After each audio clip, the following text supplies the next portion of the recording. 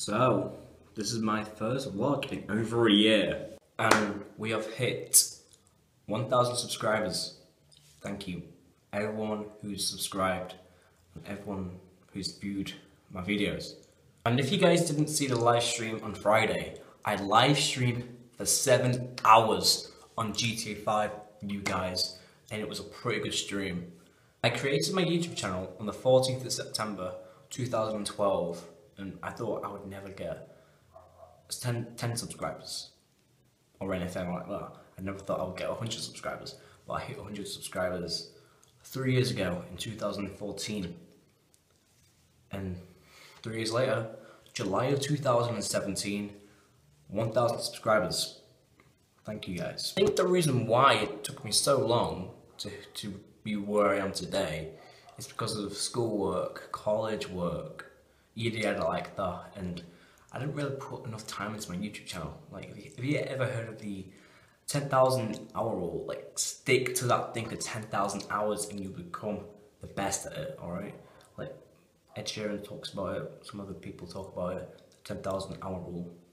I suggest you do it. So, I'm gonna put a lot of my time into my YouTube channel from now on and just do the best as I can. That's all I can do, alright, to entertain guys as much as possible. Right now I am on 43,000 views in total, and my ultimate dream on YouTube is to reach 100,000 views on YouTube. 100,000, just think about it everyone. 100,000, three numbers. 100,000, that is just phenomenal, if I ever get that one day. My highest viewed video is I Can't Sign to my PSN account and I uploaded that over four years ago. Four years ago. And it's got 17,000 views on the video.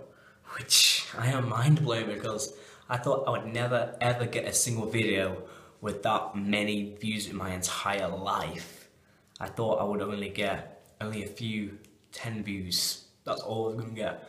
And also the video the other day, Nakamura versus Cena, that's got over 200 views, almost 300 views. Thank you everyone who's viewed that video.